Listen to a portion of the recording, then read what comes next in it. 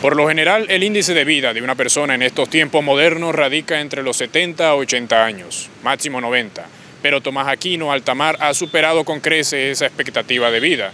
Teniendo 105 años de edad, el señor ha cumplido una larga vida llena de trabajo, diversas profesiones y sobre todo, interesantes secretos sobre cómo mantener esa tal longevidad. Nací en un corrimiento de plato, se llama Zárate.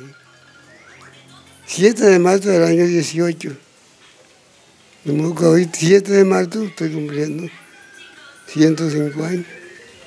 Yo me levanté en este pueblo que estaba abriendo una ciénaga. Y ahí se cogía pescado y se comía pescado y acababa de coger.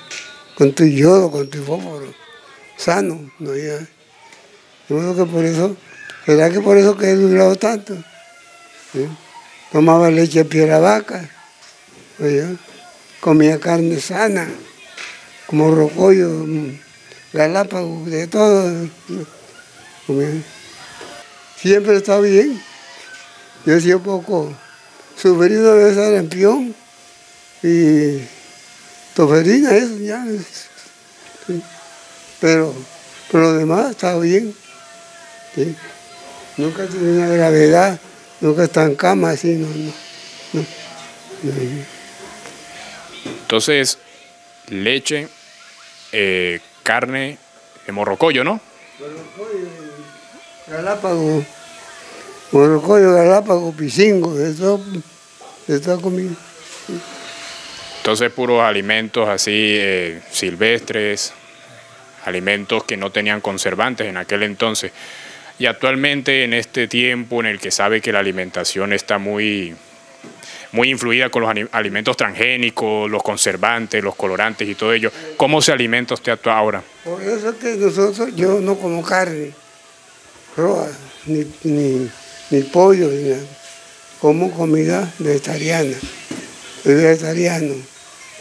No porque la carne es mala, la carne roja, ganado, no, es buena. Pero las carnes están contaminadas y por salud no debemos comer carne.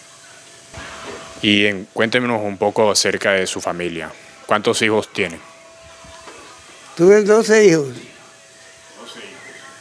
Con la esposa tuve 10, 5 hembras y 5 varones. Ella que está allá es la, la bordona de la esposa. Tuve 10. Y con otra tuve dos, una hembra y un varón. Y me nacieron las dos mujeres, me alumbraron el mismo día el mismo día.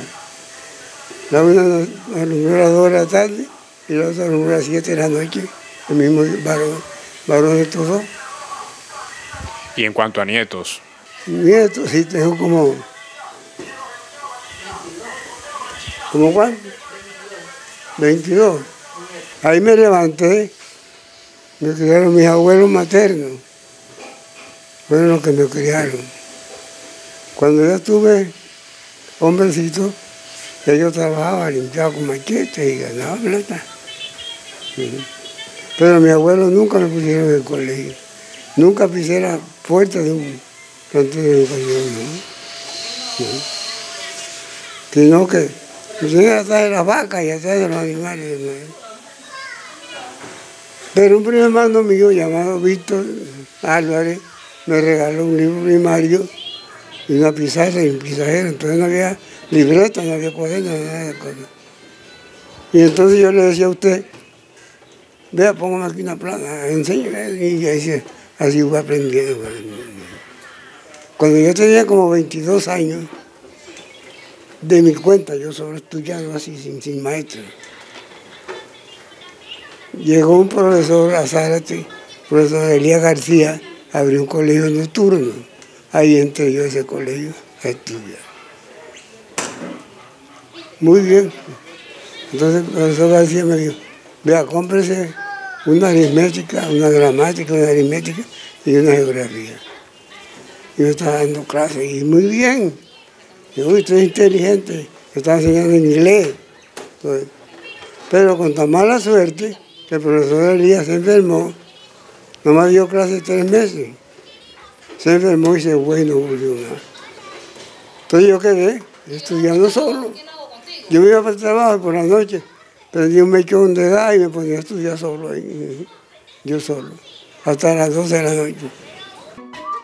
Dale gusto a tu paladar, saboreando los más deliciosos postres y ponqué que te ofrece Tortas Negle. Elaboramos todo tipo de tortas, cupcakes, flan, bizcochos y todo lo que necesitas para tus eventos especiales.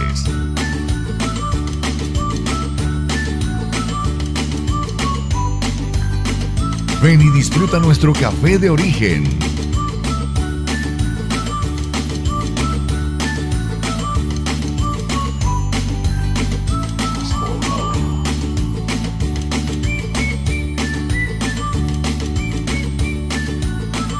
Visítanos en la carrera 10, número 1318, Barrio El Obrero.